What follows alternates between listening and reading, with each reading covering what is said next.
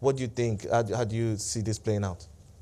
Well, I think it's important that all of a sudden, uh, as a Nigerian looking at South Africa from outside of South Africa, the question of corruption, uh, it, it was never such a big issue and, uh, in South Africa. Now it's become the issue.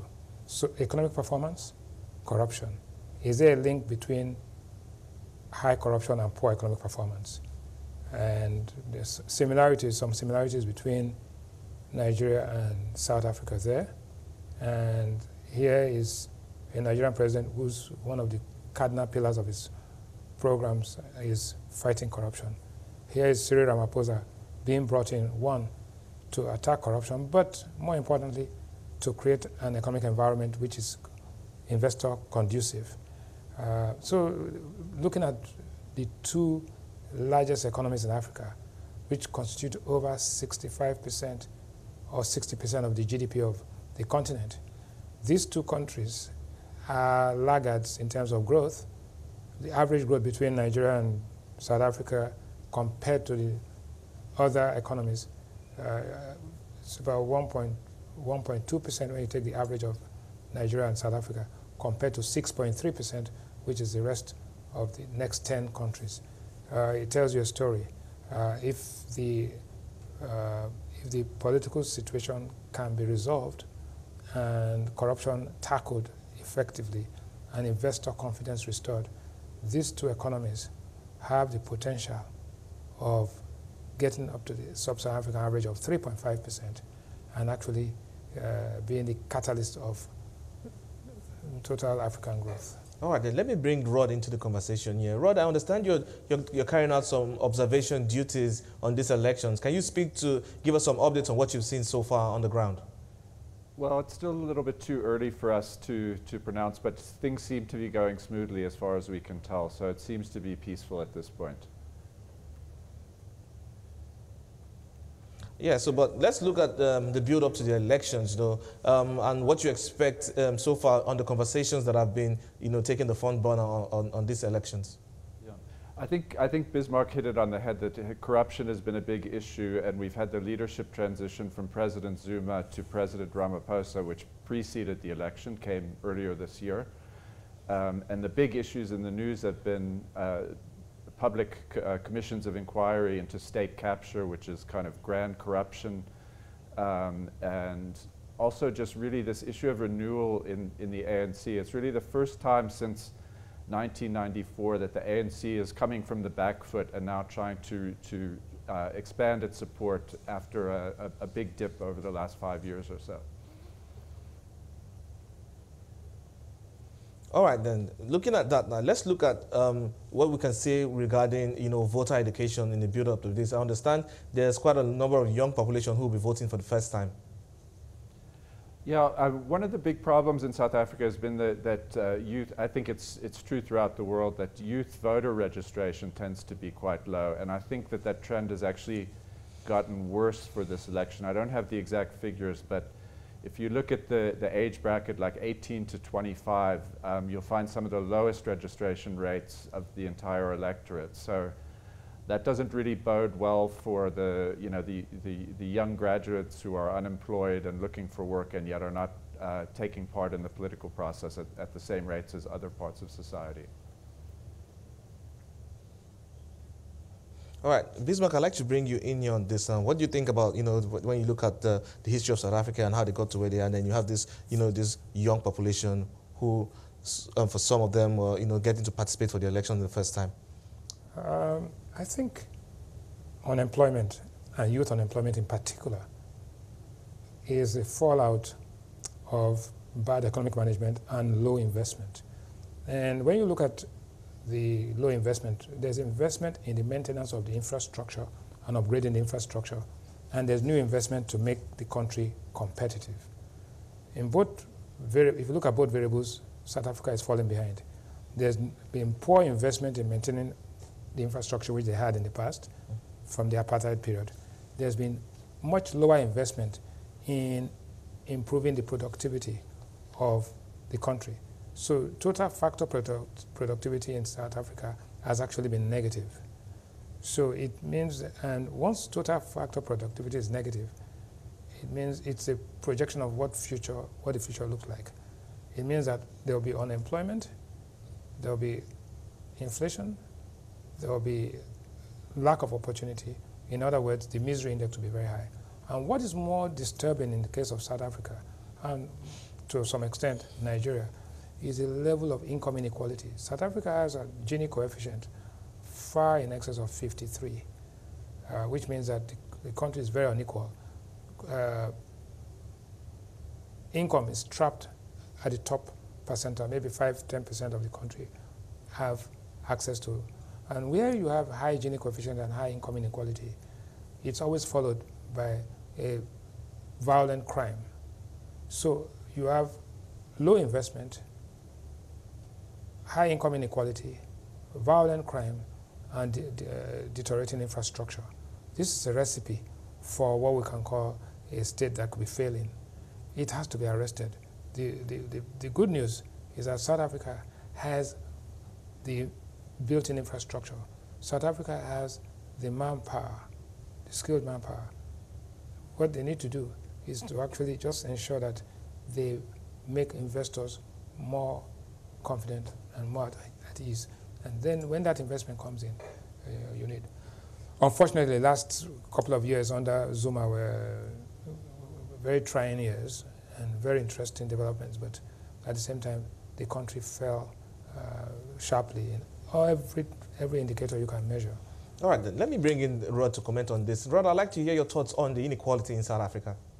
Yeah, I, I, think President Ramaphosa, he's got a difficult, uh, both of the issues that, uh, the main issues that Bismarck has raised are reflected in the political system because the ANC right now, the two main opposition parties are the Democratic Alliance, which is from the liberal tradition in South African politics and tends to be more pro-business, pro-investment, and then the um, economic freedom fighters who are a kind of militant populist breakaway from uh, actually the ANC Youth League originally. Um, and so he's trying to actually balance both of these things. One, on one side, trying to bring in a lot of investment through market-friendly approaches to uh, public services, infrastructure, and so on. Um, and at the same time, he's under a lot of pressure to address demands for land reform coming from the, coming from the left.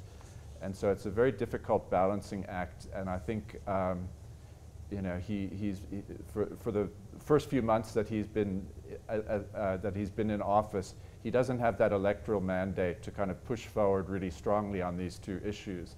And I think a lot of the debate around the election has really been about, you know, what kind of, what kind of president will Ramaphosa be when he has his own mandate and he's a lot uh, freer to pursue the kind of policies that he's been talking about. All right, then we'll keep uh, we'll continue the conversations around the mandate for um, the, um, the, President Cyril Ramaphosa after the break. I've been speaking to Bismarck Rewane, the CEO of Financial Derivatives, and Rod Alence, an associate professor um, at the University of Wits. Um, you're watching Power Lunch West Africa. We'll take a quick break and we'll continue after the conversation.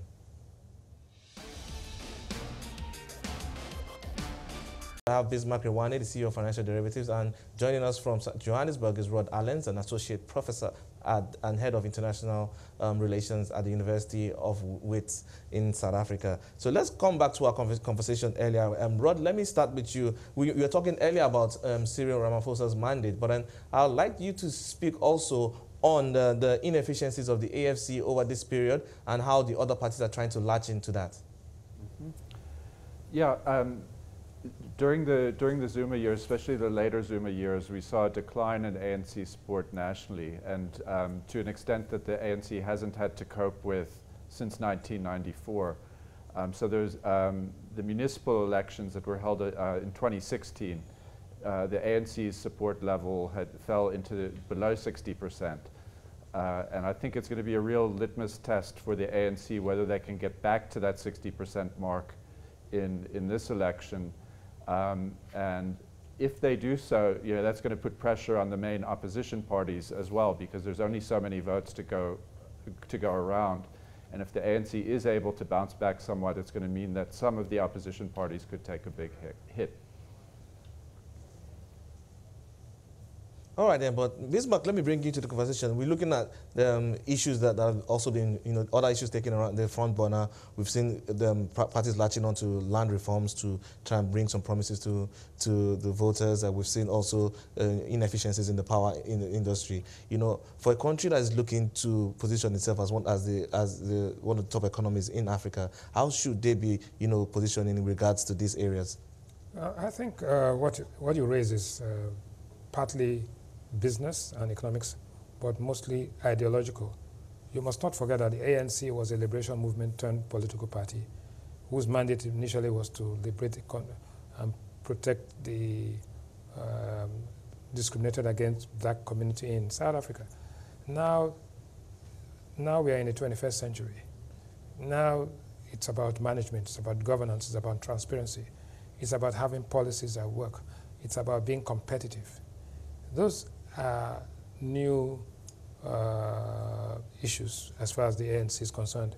They don't have that kind of tradition, they don't have that history. So this is the first time that they're being managed. And luckily you have somebody, Ramaphosa, who has come from the business, first of all as a union leader, then a, a business leader. Now, so he has the correct mix to address the policy framework, which will, one, deal with the fears of alienation and fears of the, the black empowerment program. But at the same time, knowing that the black empowerment program is of no use if there's no investment. So how do you align, how do you trade off? This, this, is, this is the key issue. The, the paranoia of being victims of oppression has to give way to embracing the, uh, the, uh, the, the, the, norms of the Wealth of Nations, international trade, the African Free Trade Agreement, opening up markets, and to a large extent, privatizing part of the, uh, of, of, of the economy. All right, then let me bring Rod now. Rod, you've listened to Bismarck talking about this. You know, do you think the ANC, as it is, is structured, you know, to take on the challenges of facing South Africa going forward?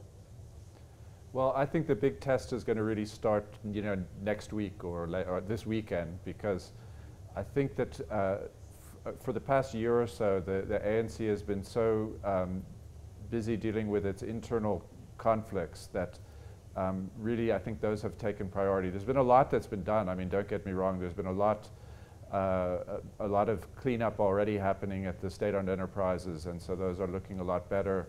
It's looking like there may be more foreign funding coming in. Um, but I mean, really, the plans, the plans for the economy have been on the table for many years. Uh, uh, President Ramaphosa was formerly the head of the, the um, National Planning Commission, and they have a very, very detailed plan. What's been lacking has been the political will to implement it. And um, I think it will be, just as soon as this, this election is over, assuming that there's no huge surprise that's unfavorable to the ANC, I think we'll, we'll finally have a government with a political mandate to try to implement uh, the, the, uh, some of these growth-oriented policies because really there's no alternative to economic growth. I mean, you can't address uh, you can't address youth unemployment when your economy is growing 1% per year um, and, and the workforce is growing at a much faster rate than that. All right, then. Thank you so much for your contributions on the show. I've been speaking to Bismarck Rewane, the CEO of Financial Derivatives, and Rod Alence is an associate professor and head of the international relations at University of Wits in Johannesburg, South Africa. And that's a wrap on Power Lunch West Africa for today. Thank you so much for watching, and bye for now. I'm Kenneth Bomo, and have a wonderful day.